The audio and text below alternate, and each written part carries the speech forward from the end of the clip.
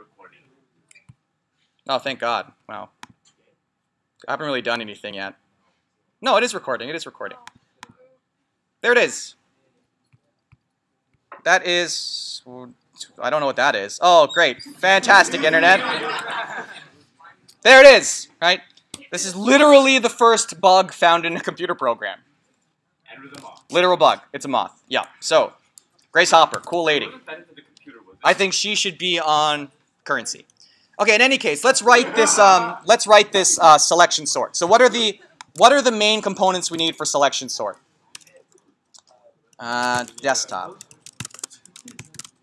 touch, cell, p, code, selection. Whoops. Yeah, you should read a book by Isaac Walt Isaac Walterson. It's called The Innovators. It will give you a comprehensive history of computer science, and it's fascinating. It's a very good book. Okay, so let's try coding this up today. So from, typing, import, list. And so we need at least two things. So I want to define selection sort. And for this, we're going to have to take in a, a list. Uh, and let's be easy on ourselves. Let's take a list of integers, and we're returning nothing because this is happening in place. So just to remind myself that nothing is being returned, you should put that there, return nothing.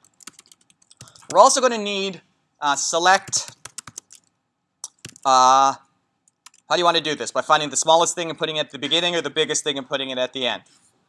You want to do it the smallest, select smallest. Okay. From x's, and since we're building the list from the front, we're going to have to say the smallest from this position. Because right? I, I don't always want the smallest from the beginning of the list. I want the smallest from the first thing that isn't sorted. Right? So I want to know the smallest element in x's from a starting position. So maybe I'll say start instead of k. Okay, so what is this going to do? So uh, finds the leftmost smallest, finds the index of the leftmost smallest least element in x's. In actually x's after start. Okay. So let's get some examples here. So if we select smallest from empty, what should that return? Shiza. Shouldn't return a list though, right? We're returning nothing, yeah. Oh no, select smallest shouldn't return nothing. It should return an index. Yeah. Oh, okay, so but like then now it should select smallest return. Nope. Nope. Nope. We have a constant for this. Nope. None. Right? right? That's the constant we have when there's no answer to it. Like all Python programmers have basically agreed if there is no solution, you're going to return none. And since we've all agreed this can make the code easier, I can say, well, if, if there is no smallest, then continue. I'll give you something maybe a little bit easier. Select smallest. I thought I deactivated caps lock. Okay, what about this one? I think you're forgetting one more parameter. All right.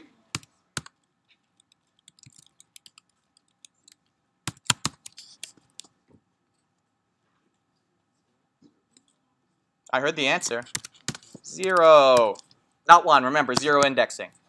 The smallest element in a list of one is the first element. It also happens to be the largest element. Right? That's why these singleton lists are special cases. Okay, so stuff the special cases. Just going to pound on the keyboard here. 2 minus 5, 6, 1, 0, minus 3. Uh, starting from position 3.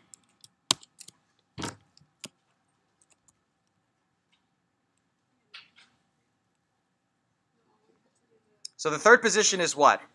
Um, so 0, uh, sorry, 2, minus 5, 6, 1. Uh, so at the fourth position is 0. At the fifth position is minus 3. So I think this should return 5. Yeah? Okay. Let's write it. So I need to do two things. I need to find the smallest smallest element of the list, and I also have to remember the index. So in this case, remember, the answer is an index. We can still search for the current smallest, current min. Uh, I'm going to set that to float inf for reasons we've discussed. And now I just have to find the smallest. So for, okay, k in range, I want to start at start. I want to end at the length of x's. Uh, if x is at start, oops, if x is at k is less than the current minimum, then the current minimum is x is at k, and the answer gets set to this index, and then return k. I think that should do it. Right, I'm just walking from start to the end, and I find the smallest thing in that range. So um, let's not believe me. Let's just do some doc testing because um, we wrote them there.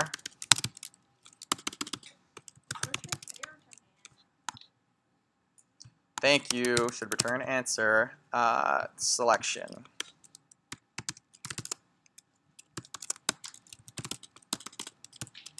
Uh, right, so import doctest, doctest dot test modulus. Expected none and got a negative one. Oh, that should be set to that. Negative one wouldn't be a bad. No, no, no. Negative one would be bad because you can negatively index into lists. And if I say that the, the list position's at negative one, that would actually be wrong. So none is appropriate here, right?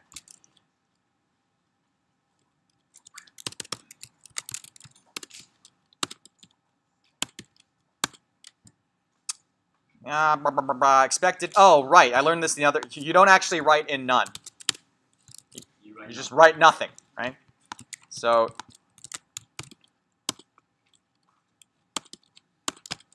Hooray! Okay, so we have the first piece of the pie. So now we have to use select smallest to build a sorted list. Uh, performs selection sort on x's in place. Uh, so we're ascending, right? So what do I have to do? So I have to sort the list for k in x's. Oop, range, length x's.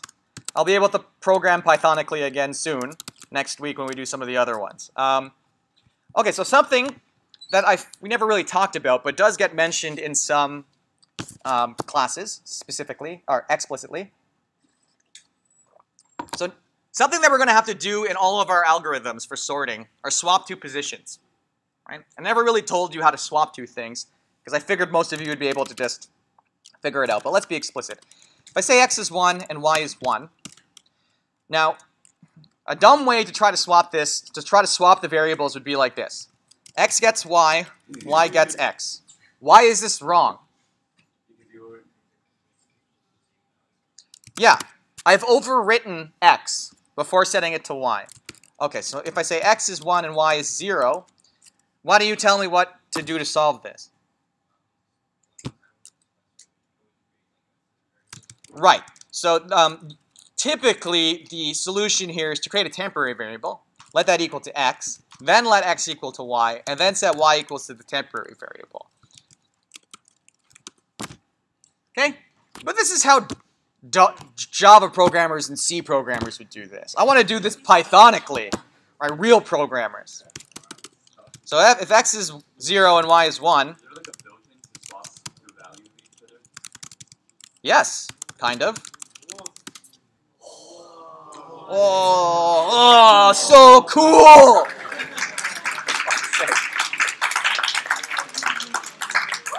You guys know I didn't code Python, right? Like, Python's not me. You're clapping for the wrong people. Um, yeah, so you can do a swap like this using a tuple if you want, and it saves you the trouble of having to create a temporary variable. And it also contains your swap to exactly one line. Right, so there are, there's a bunch of advantages to using the swap like this.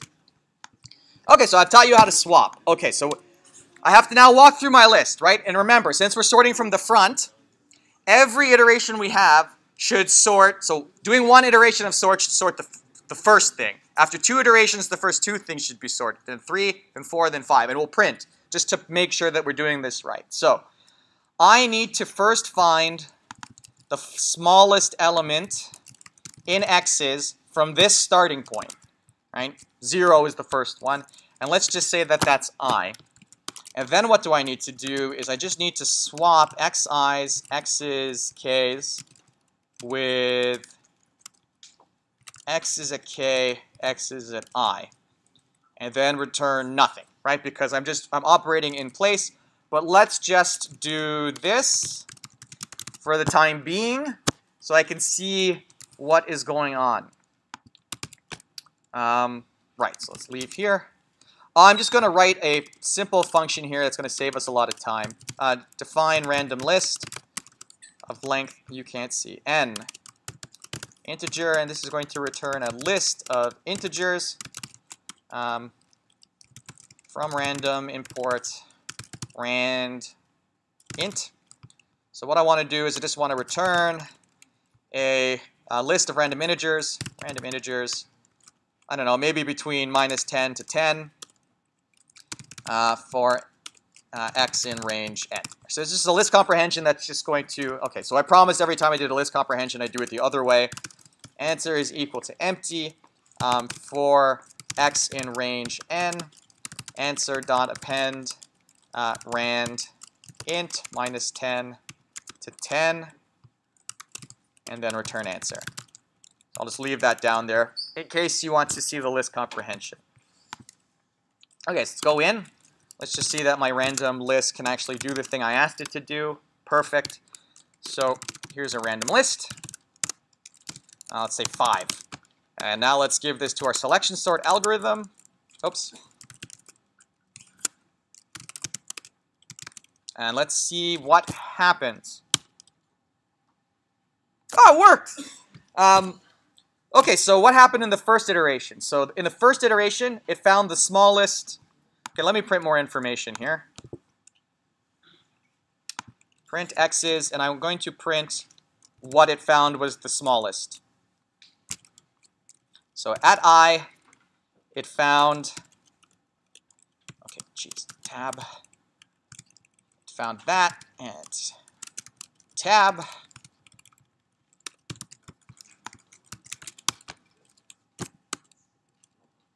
Great, okay. So this is how the algorithm was working. So at um, the first iteration, it said at it found a minus 2 at 4. Oh, sorry. I have to put this. That is puzzling. How come I didn't find minus 8 to be the smallest thing?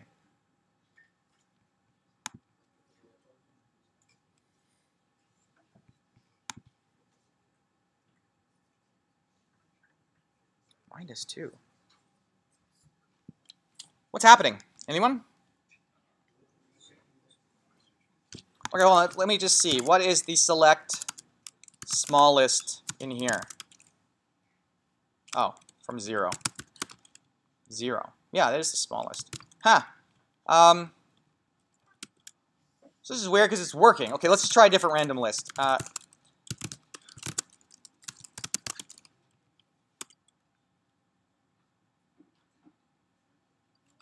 Hmm. Okay, well, let's not look a gift horse in the mouth. Um, it's working. I think maybe my prints are just a little bit off, but it's just performing the these computations, but in reverse. Right? Instead of putting stuff at the end of the list, it's like finding the smallest thing and putting it at the beginning of the list. So I encourage you to go look at the code and like play with it a bit. Uh, so we have that. Do you want to write some test cases for this? Not this one, this one maybe. Because uh, I learned how to do test cases on in-place functions. So you have to do something like this. So you say, um, define a list, one, two, three, and then you can say uh, selection sort this list. And then if you print the list, it should be one, two, three. Right, that's how you write a doc string when there's no return. Uh, let's do some other ones, some edge cases. So what should the empty list return? Oops.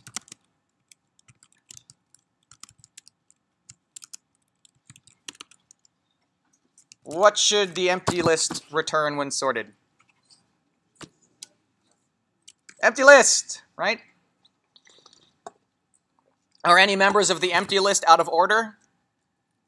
No, because it has no elements, right? So it fails to not be out of order. I'm out of order. You're out of order. This whole place is out of order. You guys need to watch way more movies, if only to recognize my uh, references. Okay, so what's what happens if I sort the singleton list? Okay, we should return back this. And let's just do something a little bit more complicated. I'm just going to cheat and maybe grab this. Nope, I need a sorted, unsorted list. Just just dump this into here. And what should this sort to? Minus 10, minus 10, minus 9, minus 7. Okay, so let's try and do our doc testing.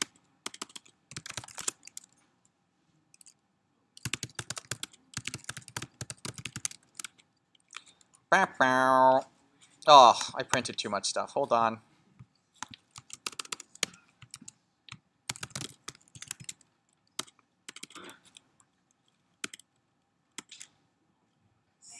Oh, great. Perfect. Um, we're doing a lot better than the last class. Uh, probably because it's the second time I'm writing this code today. Um, although in the other class we did the maximum, so I didn't write exactly the same code. Okay, so we actually do have some time to run the experiments then. So the next thing I want to do now is see how good this algorithm is. or maybe I'll just die. Which one would you guys prefer? Death or or more experimentation? You sure you want to tell me the answer? I haven't written the exam yet. Yeah, yeah. I do remember the cop. I don't have to remember something that I'm currently holding on to and enjoying. If you bring me a panda, you get an A plus. Not a sticker though, a real life one. I want that thing here on the ground like this. Right? Okay, so I have to show you now how to time stuff, and this this is like stupidly complicated for like no reason, but it's not my fault. Uh, and I also get to yell at you for printing again using these examples. So isn't that going to be fun? So the um, function that you need to use is called time it. So from the uh, library time it, we can import time it. Right? So what's time it going to do? Well, if I have a function, whoops, that is written properly, uh, and maybe this function returns 3 to the power of 10 to the uh, power of 6. Okay? Um, I can now say something like time it. Uh, and then I have to give it this extra parameter, this number equals 1. So, do you guys know what multitasking is? Do you guys know how your operating system works? A little bit. Well, I'm going to tell you. So, um, it would be really bad if you were watching a YouTube video and that was like the only thing that your computer could do. If your computer could only do one thing at a time, you would hate your computer. It's like, I'm typing into the keyboard. Well, no, I'm playing a YouTube video, you should wait. Like, I'll, I'll wait to get input from you from the user. And so, obviously, that's not how your computer works. How your computer works is it has a bunch of tasks that it's, it's doing. It, it really is only doing one task at a time. But it's shifting between these tasks so rapidly that you as a human don't notice. It like plays like a second of the YouTube video, then waits for like a millisecond for input from the keyboard, and then updates the screen, and then updates the sound, right? And it's doing this so rapidly back and forth that it just appears that everything is running at the same time. Now, I'm telling you this for this reason. If we run a Python program, we can't be like, what does it mean that it returned in 10 seconds? Does it mean that uh, maybe the computer went off and did some other task that was like uninvolved with our Python program for like eight seconds? Um, I don't know how much time actually was spent running my program. So, you never really test how like a function wants for its timing. You want to do something like time it 100 times and then take the average time. Right? So that's what this number is doing. You're telling uh, time it how many times should I run this program um, to time. So once, So do you think this? Will, so this is three to the power of a million. What do you What do you reckon? This is a five-year-old computer. Just guess. I'll make it easy. Greater than one second, less than one second. Tenth of a second. Not bad.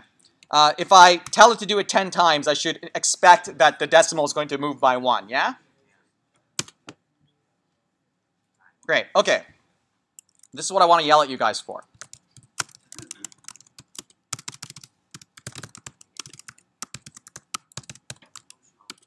Whoops, whoops, whoops. 3 to the power of 10 to the power of 6. What's happening? Oh god, Python. I forgot about your brackets, because you changed them! It used to be the other way. Sorry, you guys can't see that. Oh god. Okay. So we wrote another function like that. It's virtually identical to foo, and that is just going to print out the exact same value that foo was calculating. Okay, so I'm going to time it foo. Uh, let's do it five times, yeah? 0.38 seconds.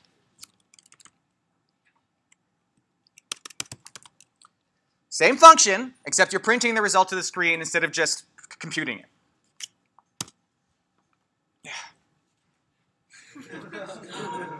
It's not done yet. That's just the first one. That's the first one. Five. 15.4 seconds to perform the same computation that took me a tenth of a second. Prints are very expensive. Very expensive, right? Don't print unless you want to like cripple the efficiency of your code and annoy me by like doing this. Do you see the woman in the red dress? Thank you. I got some. There we go. A plus for that guy. I actually may invent a new grade, A plus plus, and give you that. Right? Do you need any more evidence to me that printing and returning are like fundamentally different things and that you should never use the print statement? Right? This was an increase of about a thousand, right? And so we're the lion's share of computation for a print is actually spent dumping that output to the screen, right? So if this doesn't convince you, I wash my hands of it. I give up, right? Just don't print. Okay, so I've now shown you how to time something, but there is one caveat here. Um, the timer can only time functions which have no input. Right, so if I did something instead like this, if I defined foo and I just made a really uh, small change, so this time I return 3 to the power of 10 to the power of n, right, basically the same thing, you would think that you should be able to do this. Right? Just time it. It complains, and it gives you this really esoteric error that I actually had to look up last night. So I'm going to save you from getting confused by this. It's just that time it really, really expects a function which it can call with no input. And foo of 6 is no longer a function call, it's a constant. It's, it's like I gave the timer a number. Right? It's like I can't, how do I time it? It's a constant. You just gave me a number. You have to give me a function. Okay, so this is how you turn a function with a call uh, into a function without a call. So you can do something, you can wrap it, wrapper's delight, uh, and you return foo of 6, basically. And now you have a function with no inputs, uh, for which you can call timer on. Keyword can't be an expression. Is wrapper a keyword?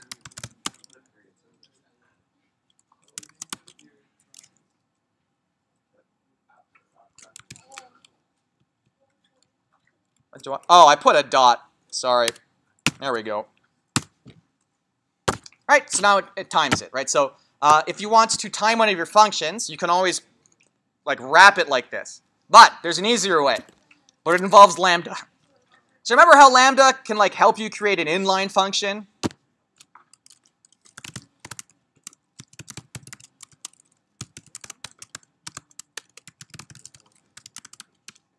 There you go. If you just stick a lambda in front of the thing, It's just a constant function which just takes everything to foo6. And so using a lambda here basically turns that number into the constant function of that number. And so there, there are two ways here that you can time your functions. You can wrap them, or you can just stick a lambda with a colon in front of it. You, you pick. Okay, so now what I want to do is write some code that's going to time uh, how long it takes to sort a list of various lengths. So let's write this down here. Actually, I should probably use this import main, but I don't know how to write it. Just grab it from your, I'll grab it from the assignment.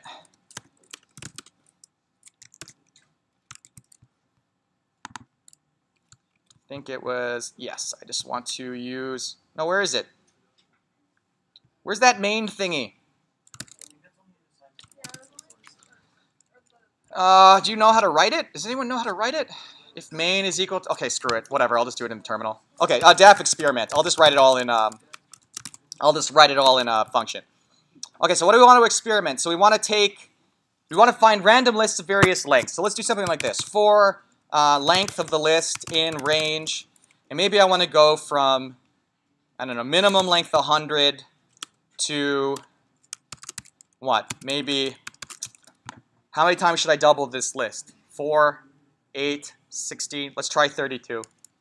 We can always print out um, intermediate results. And I want to maybe count by, I don't know, hundreds? Or how should we do this? No, maybe, maybe we should just count to 10 and double the list each time. Um, so the length, okay. So the length of our list is going to be at first 10. Then I'm going to generate a random list of length L. Oh no, of length length. And then let's just double the length for the next iteration. Okay, and then let's say from time it import time it. Uh, then let's say time it.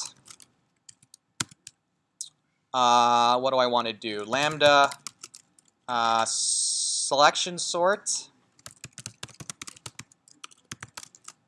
On x's, and maybe let's do it five times. Okay, let's save this result, time, and then I have to say time divide equal 5 to get the, the runtime of a single one, and then let's just print print this. Okay, this, then a tab, then a this, then a tab. So length is this.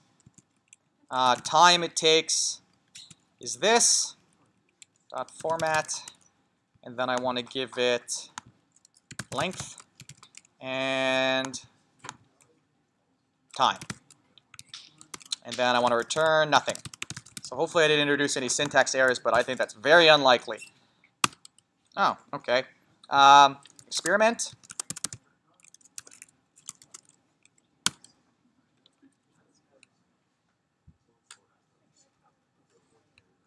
That's not too bad. A list of 5,000. Wow, that finished.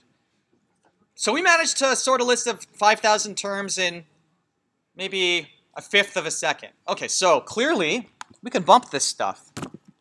Okay, okay. I see. So maybe we should start at 100. All right, see if we can do it from 100. Hmm?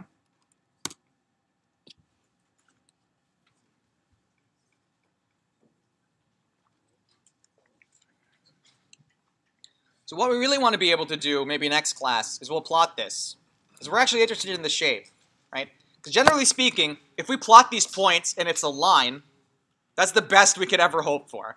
If a linear increase in the size of the problem corresponds to a linear increase in wait time, great. That, that's about as best as you can do. Well, we're not, but we're not going to find that for this case. If you ever came up with a linear sort algorithm, billionaire, right? Either a billionaire or killed by someone in your sleep, right? Because that would be, yeah, the CIA probably. Um, six seconds for 25,000. Yeah, we're going to find here, I'm going to spoil it a bit, that an increase, a linear increase in the length of the list corresponds to a quadr- quadratic quadratic increase in wait time. Right? So if, you, if your length, list was length 10, you may have to wait 100 seconds. If your list was a length 100, you have to wait a million seconds. A thousand, whatever a thousand squared is. Right? But the point is, this is a bad runtime. Right? The best we're ever going to be able to do is n log n, which is basically linear, because taking the log of something is like horrifically sh- shrinks it. You guys know what the log is? You just, if I give you a huge number and you take its log, you just count the digits that, that it was listed in. So like a number like a million gets reduced to five, or maybe six, whatever. Five or six is still a lot less than a million. Okay, let's wait for one more, and then maybe, well, maybe waiting for one more is going to be long, because I said it's going to be a square. Thank God for this coffee.